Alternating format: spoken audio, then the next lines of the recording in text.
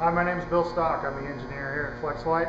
Uh, what I'm going to show you here today is uh, our 183. Our model, new model number 183 fits the 2003 to 2008 Dodge Ram 1500. Uh, that's with the V8 and V6 configurations, Hemi, non-Hemi.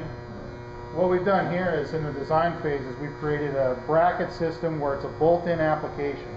You're using existing mounting holes, existing hardware like the tank, and you're using all the existing tubes and everything. So basically what you're doing is you're going to be removing the factory shroud off of your, your factory radiator, put that off to the side, you're going to install our electric fan, and you're going to be able to use the existing overflow tank.